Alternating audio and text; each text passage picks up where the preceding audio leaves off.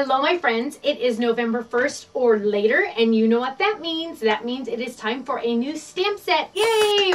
Club members, your stamp sets are already in the mail to you. We get up extra, extra early on the 1st.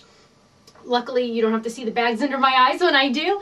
And we get those all shipped out to you ASAP, so they are in the mail to you. Are you ready?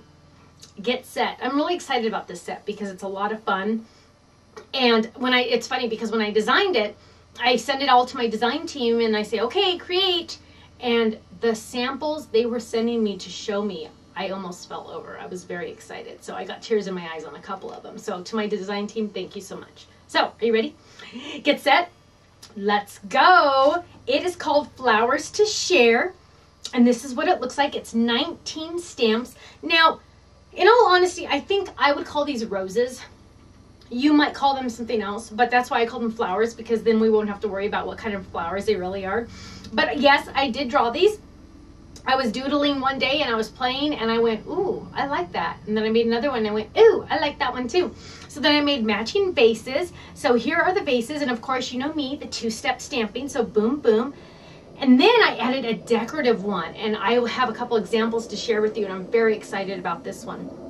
So here we go. It says, thinking of you, flowers for you, I love you, so cute, you rock, for you, smile. And then this border here says, you make me happy, you make me happy, you make me happy. Here's a wow. And look at this border here. Woo! The nice thing about this flower border is it automatically connects to another one. So if you're a scrapbooker and you do 12 by 12 pages or longer pages, this stamp right here will automatically, right here, will automatically connect to right there when you're stamping a border. So really easy and fun to use. Now, another fun thing is you can stamp some of these, like the I love you, on the vase itself. So that would look really cute. We also have lots of other sentiments that will work on these vases. Okay, so think about those. Now, one other thing I wanted to share with you about this top border, because this is really fun. And Amy, you're the one that gave me this idea.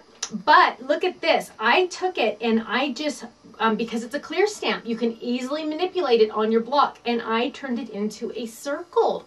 So if I wanted to do a circle, I could. If I had a longer block, let me show you really quick because this is fun too. It doesn't have to be straight. Okay, so I can kind of swirl this a little bit. I can play with it like, oh, that actually looks really cute, just the way it went down like that. Or I can make it straight. Now you might say, Stephanie, what's the easiest way to make it straight? The easiest way to do that, this is a quick tip, okay, is simply to lay it down, face down, and then take your block and put it right on top, and there you go, nice and straight, okay? So quick tip. Are you ready for some samples? I'm ready. Beverly sent in some great samples this month, so I want to make sure I share them with you. This one is really pretty. It just says, it's a cute title, smile, smile, smile, smile, all the way down. And then she stamped the vase, just the outline vase, onto pattern paper and cut it out. And then she stamped this part of the flower on another pattern paper. And then she stamped the stem onto the cardstock and colored it. Isn't that beautiful? And look at the cute little gems and the little staples. So many little cute cuteness on this one. The next one that she's sharing with us, I really like because she really thought outside of the base or outside of the box. And she stamped the sentiments for circles that says thanks, thanks, thanks, thanks, thanks onto cardstock, then stamped the vase outline onto card on top of it and cut it out. And so now it's a thank you vase and it says for you in one simple beautiful flower. Isn't that adorable?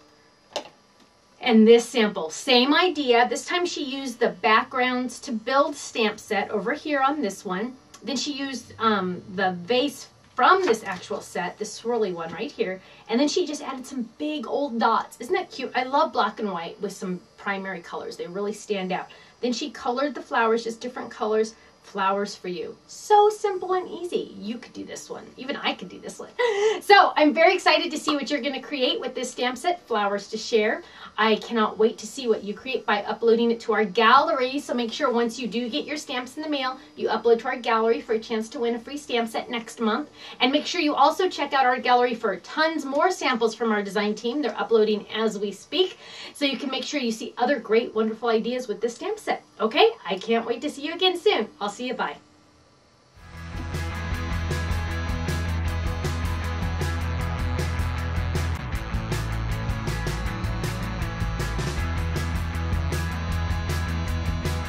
shadow in the black light, looking over, taste the good life, cause even